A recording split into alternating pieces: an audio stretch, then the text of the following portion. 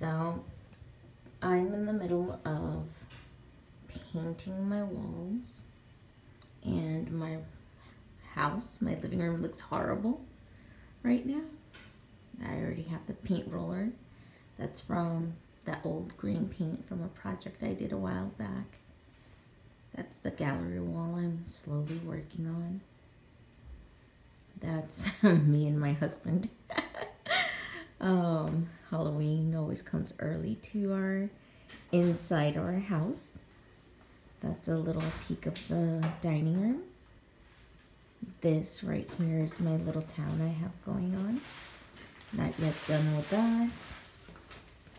This my awesome husband made. Pretty cool.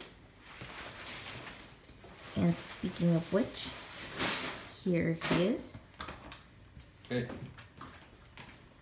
And all of this gray is gonna get changed.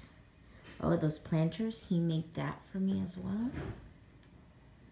Pretty neat. And yeah, next time you see this, different colors.